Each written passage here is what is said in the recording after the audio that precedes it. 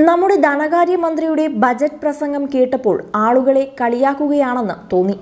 ഈ കളി തോറ്റാൽ ഞങ്ങൾ അടുത്ത കളി ഇറക്കുമത്രേ. അതാണ് പ്ലാൻ ബി. അതായത് Chinese model. Chinese communist party Mao Sethu എന്നൊക്കെ പറയുമെങ്കിലും ചൈന കമ്മ്യൂണിസം വിട്ടിട്ട് നാളുകൾ എത്രയായി. പക്ഷെ നമ്മുടെ സഖാക്കൾക്ക് ഇപ്പോഴും ചൈന പ്രണയമാണ്. ചൈന വേണോ റഷ്യ വേണോ എന്ന പ്രശ്നത്തിലാണല്ലോ ആയിരത്തി തൊള്ളായിരത്തി അറുപത്തിനാലിൽ നിങ്ങൾ പിളർന്ന സി പി ഐയും സി പി എമ്മും ആയത് ഇപ്പോൾ എല്ലാ പ്രശ്നങ്ങൾക്കും പരിഹാരം സ്വകാര്യ പങ്കാളിത്തമാണത്രേ. അതാണ് പ്ലാൻ ബി എന്ന് വിവക്ഷിക്കുന്നതത്രേ. ഇവിടെ ആരാണ് നിക്ഷേപിക്കാൻ വരിക?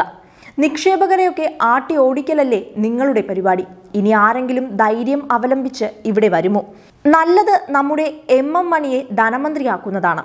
തോട്ടം മേഖലയിലെ കുത്തകകളുമായി എങ്ങനെ സമരസപ്പെട്ട് കാര്യങ്ങൾ നടത്തിയെടുക്കാമെന്ന കാര്യത്തിൽ ഡോക്ടറേറ്റ് എടുത്ത ആളാണ് നമ്മുടെ മണി. നിങ്ങൾ കരുതുന്നത് പോലെ വെറുതെ വായിൽ തോന്നിയത് വിളിച്ചു പറയുന്നതും വൺ ടു ത്രീ എന്ന് വീമ്പിളക്കുന്നതും മാത്രമല്ല അദ്ദേഹത്തിന്റെ പണി. ലക്ഷക്കണക്കിന് ഏക്കർ തോട്ടഭൂമി അന്യായമായി കൈവശം വച്ച കുത്തകകൾക്ക് എല്ലാ സംരക്ഷണവും നൽകി അതിന്റെ അനുഭവം കൈപ്പറ്റുന്ന ആളാണ് അദ്ദേഹം.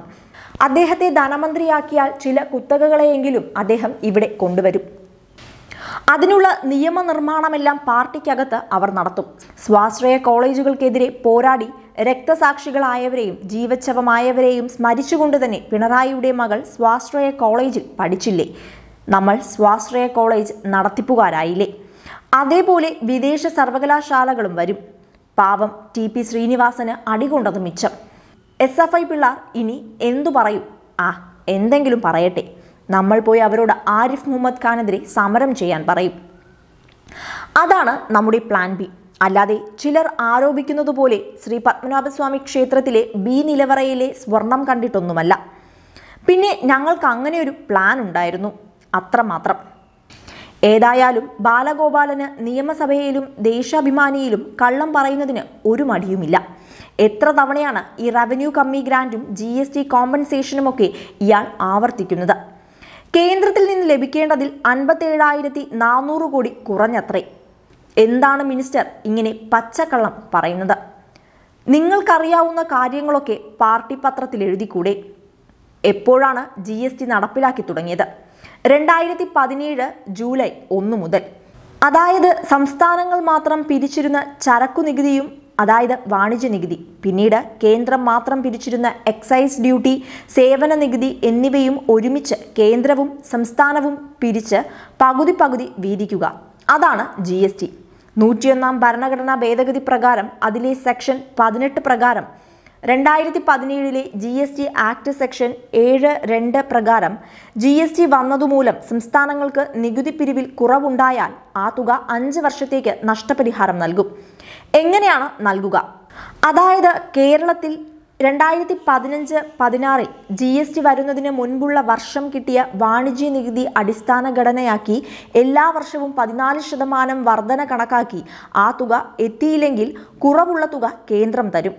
രണ്ടായിരത്തി പതിനഞ്ച് പതിനാറിലെ കേരളത്തിന്റെ നികുതിയായ പതിനാറായിരത്തി എണ്ണൂറ്റി ഇരുപത്തൊന്ന് പോയിന്റ് മൂന്ന് ഏഴ് കോടി കണക്കാക്കിയാണ് പതിനാല് ശതമാനം വർധനവ് നിർണയിച്ചിരുന്നത്. ഓരോ രണ്ടു മാസം വീതം നഷ്ടപരിഹാരം തന്നിരുന്നു. രണ്ടായിരത്തി പതിനേഴ് ജൂലൈ ഒന്ന് മുതൽ രണ്ടായിരത്തി ഇരുപത്തിരണ്ട് ജൂൺ മുപ്പത് വരെ തന്നു. ജി എസ് ടി നടപ്പാക്കിയതിന്റെ രണ്ടാം വർഷം തന്നെ നമ്മുടെ അന്നത്തെ ധനമന്ത്രി ഐസക് പറഞ്ഞത് ഞങ്ങളിതാ ഇരുപത് ശതമാനം നികുതി വളർച്ച നേടാൻ പോകുന്നു എന്നൊക്കെയായിരുന്നു. ഒന്നും നടന്നില്ല എന്നു മാത്രം. നടക്കാത്തത് കൊണ്ടല്ല. വളർച്ച പതിനാല് ശതമാനത്തിൽ കുറഞ്ഞാൽ ആ തുക കേന്ദ്രം വെറുതെ തരും. പിന്നെ നമ്മൾ ആഞ്ഞുപിടിച്ച് നമ്മുടെ സ്വന്തക്കാരായ കച്ചവടക്കാരെ വെറുപ്പിക്കണ്ടല്ലോ. അങ്ങനെ അഞ്ചു വർഷം കൊണ്ട് നല്ലൊരു സംഖ്യ കിട്ടി. ഇപ്പോൾ നമ്മുടെ ബാലഗോപാൽ പറയുകയാണത്രേ ജി എസ് ടി നഷ്ടപരിഹാരം കിട്ടാത്തത് കാരണം പന്ത്രണ്ടായിരം കോടി കുറവുണ്ടായത്രേ. ഏത് കൊച്ചു കുഞ്ഞിനും അറിയാം അഞ്ചു വർഷത്തേക്കാണ് ജി എസ് ടി നഷ്ടപരിഹാരം നിശ്ചയിച്ചിട്ടുള്ളതെന്ന്. ജി എസ് ടി നടപ്പിലാക്കാൻ ഭരണഘടന ഭേദഗതി ചെയ്ത സമയത്ത് അതിൽ ക്ലിപ്തമായി എഴുതി വച്ചതല്ലേ അത്? ഇനി വാദത്തിന് വേണ്ടി ബാലഗോപാൽ പറയുന്നത് അംഗീകരിച്ചാലും പതിനാല് ശതമാനം നികുതി വളർച്ച ഇല്ലെങ്കിലല്ലേ നഷ്ടപരിഹാരം നൽകേണ്ടത്? ഞങ്ങളുടേത് ഇപ്പോൾ ഭയങ്കര വളർച്ചയാണെന്നാണല്ലോ മന്ത്രി പറയുന്നത്. പിന്നെ എന്ത് നഷ്ടപരിഹാരം? അടുത്തത് റവന്യൂ കമ്മി ഗ്രാന്റ് ആണ്. അത് ധനകാര്യ കമ്മീഷൻ പ്രഖ്യാപിച്ചതാണ്. അത് എത്ര സംസ്ഥാനങ്ങൾക്ക് എത്ര കൊടുക്കണം ഓരോ വർഷവും എത്ര കൊടുക്കണം എന്നൊക്കെ കമ്മീഷൻ തന്നെ തീരുമാനിച്ചതാണ്. അത് കിട്ടുകയും ചെയ്തിട്ടുണ്ട്. കേരളത്തിനാണ് കൂടുതൽ കിട്ടിയത്. ഇനി അത് കിട്ടില്ല എന്ന് ബാലഗോപാലിനറിയാം. പിന്നെ തട്ടിപ്പ് വർത്തമാനം പറഞ്ഞ് ആളെ പറ്റിക്കണം. പിന്നെ പറയുകയാണ് ധനകാര്യ കമ്മീഷൻ വിഹിതം കുറച്ചെന്ന്. മൂന്ന് പോയിന്റ് അഞ്ച് എട്ട് ശതമാനം ഒന്ന് പോയിന്റ് ഒൻപത് രണ്ട് അഞ്ച് ശതമാനമായി കുറച്ചെന്ന്. മൂന്ന് പോയിന്റ് അഞ്ച് എട്ട് എന്നായിരുന്നു സഖാവെ. എത്രയോ ധനകാര്യ കമ്മീഷനുകൾക്ക് മുൻപ്. അതിനുശേഷം എത്ര ധനകാര്യ കമ്മീഷനുകൾ വന്നു. അവർ കേന്ദ്രവിഹിതം നിർണയിക്കുന്നതിൽ ചില മാനദണ്ഡങ്ങൾ പാലിക്കുന്നുണ്ട്. അത് ദാരിദ്ര്യത്തിൽ നിന്നുള്ള അകലം ജനസംഖ്യ തുടങ്ങി നിരവധി മാനദണ്ഡങ്ങൾ ഉപയോഗിച്ചാണ്. നമ്മുടെ ആളോഹരി വരുമാനം കൂടുതലാണ് ജനസംഖ്യ കുറവാണ്. ഇരുപത്തഞ്ച് കോടി ജനസംഖ്യയുള്ള യു പിക്കും മൂന്ന് പോയിന്റ് അഞ്ച് കോടി ജനസംഖ്യയുള്ള കേരളത്തിനും ഒരേപോലെ തുക വീതിക്കാൻ പറ്റുമോ? അതേപോലെ ദാരിദ്ര്യം കൂടുതലുള്ള സംസ്ഥാനങ്ങൾക്ക് കൂടുതൽ തുക നൽകേണ്ടേ? കഴിഞ്ഞ രണ്ട് ധനകാര്യ കമ്മീഷനുകളാണ് സംസ്ഥാനങ്ങൾക്ക് കൂടുതൽ തുക വിഭജിച്ചു നൽകിയത്. മോദി വരുന്നതുവരെ കേന്ദ്ര നികുതിയുടെ മുപ്പത്തിരണ്ട് ശതമാനം മാത്രമായിരുന്നു സംസ്ഥാനങ്ങൾക്ക് വീതിച്ചു നൽകിയത്. മോദി വന്നപ്പോൾ അത് നാൽപ്പത്തിരണ്ട് ശതമാനമായി ഉയർത്തി. പിന്നെ കടമെടുപ്പിന് ഒരു പരിധി നിശ്ചയിച്ചിട്ടുണ്ട്. നിങ്ങൾ അതിനെ മറികടക്കാൻ ബജറ്റിൽ ഉൾപ്പെടാത്ത തുക കിഫ്ബിയെ കൊണ്ട് കടം വാങ്ങി. അതിന്റെ ഗ്യാരണ്ടി സർക്കാരല്ലേ? മോട്ടോർ വാഹന നികുതിയല്ലേ കിഫ്ബിയുടെ വരുമാനം? അത് സർക്കാർ പണമല്ലേ? കടത്തിന്റെ ഉത്തരവാദിത്തം സർക്കാരിനല്ലേ?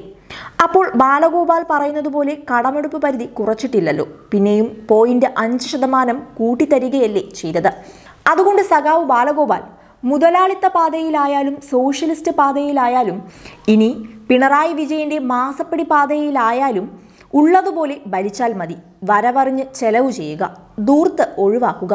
അനാവശ്യ ചെലവുകൾ നിർത്തുക. പുതിയ ധനാഗമ മാർഗങ്ങൾ കണ്ടെത്തുക. നികുതി പിരിവ് കാര്യക്ഷമമാക്കുക.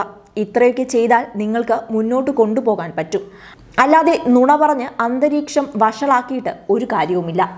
കൂടുതൽ വാർത്തകളും വീഡിയോകളും ലഭ്യമാക്കാൻ Malayali news live dot com subscribe ചെയ്യുക.